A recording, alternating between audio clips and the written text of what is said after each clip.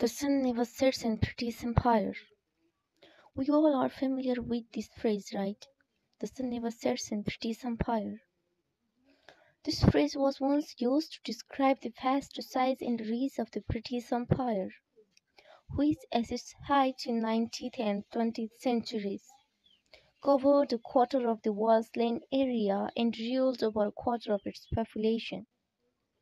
The phrase "the sun never sets on British Empire" was coined because the British Empire had colonies and territories all around the world, spanning multiple time zones. As a result, it was always daytime somewhere in the British Empire, and thus the sun never sets on it.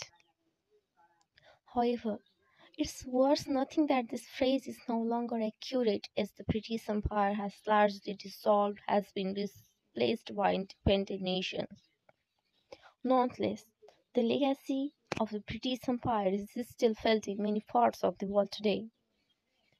And thank you for watching this video. Have a great time. See you.